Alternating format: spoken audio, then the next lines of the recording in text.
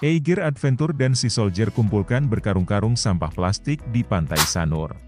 Ratusan ton sampah mengotori pesisir Bali setiap hari. Berbarengan dengan agenda World Water Forum 2024 yang sedang dihelat di Pulau Dewata, kolaborasi aksi nyata untuk membersihkan pesisir dilakukan oleh sejumlah komunitas. Aksi pertama dilakukan di pesisir Sanur didukung oleh Eiger Adventure, brand penyedia perlengkapan luar ruangan asal Bandung, Jawa Barat. Rabu 22 Mei 2024, berlokasi di Pantai Mertasari, Sanur Inisiasi Saya Pilih Bumi, Eiger Adventure dan Sea Soldier bersama puluhan komunitas dan rekan-rekan jurnalis di Pulau Dewata, melakukan aksi bersama dengan tajuk Beach Clean Up.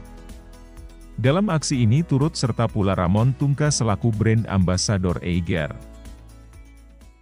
Itu sudah ada di angka 5,6 juta. Artinya di setiap kalau dibagi rata nih berarti setiap per meternya itu sebenarnya udah ada sampah. Jadi semuanya uh, apa pasti ada sampahnya. Nah, uh, jadi untuk pemilihan lokasi ya pasti tentunya ini dekat dengan uh, perkotaan, dekat dengan kita.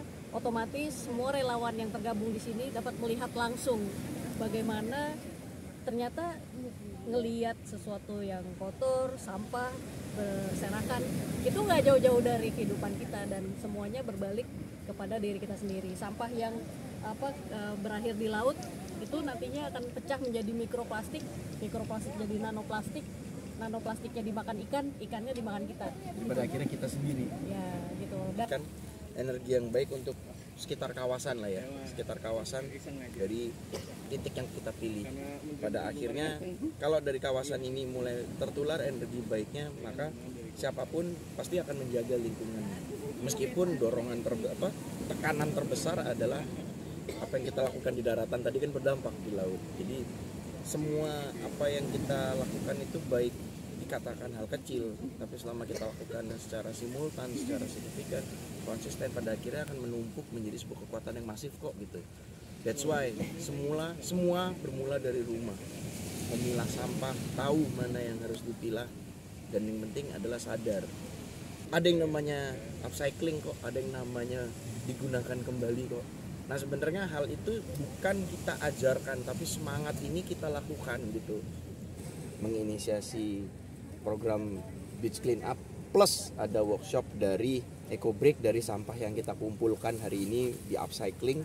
Itu merupakan hal yang apa yang harus sustain ya. Jadi nggak cuma satu kali dua kali gitu. Mungkin beberapa beberapa pihak mungkin mengatakan hanya sekedar beach clean up tapi kita berdua sepakat bahwa yang sekedar-sekedar inilah yang harusnya dilakukan secara kontinuitas gitu. Dan Eger hadir juga di sini untuk membantu kegiatan kami berdua. Ya saya rasa bahwa ini adalah wujud hal baik ya.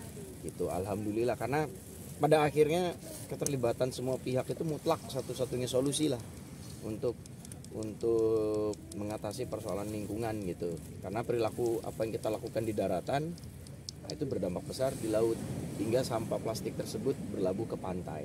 Halo semuanya, aku Rafaela dari Sebumi sebenarnya Sebumi sendiri uh, merupakan social enterprise atau NGO yang bergerak di isu lingkungan juga, tapi lebih ke pariwisata dan base kita sebenarnya di Jakarta.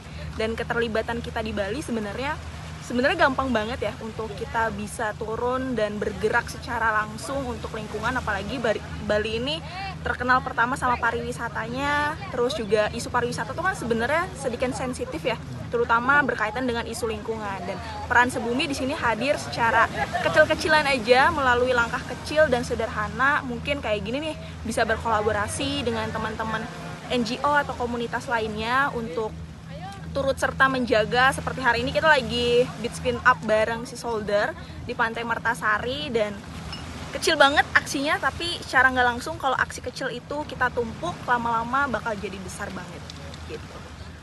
Pembuatan EcoBrick ini ditunjukkan sebagai komitmen saya pilih bumi dan si Soldier untuk memberikan kontribusi terhadap lingkungan yang lebih baik. Kegiatan Beach Clean Up dan lokakarya pengolahan sampah ini didukung penuh oleh Eiger Adventure. Tak hanya digelar di Denpasar, Bali, Rangkaian kegiatan ini nantinya juga akan menyambangi kota-kota lainnya di Indonesia agar menginspirasi semakin banyak komunitas dan masyarakat Indonesia untuk berbuat hal serupa demi lingkungan yang lebih baik.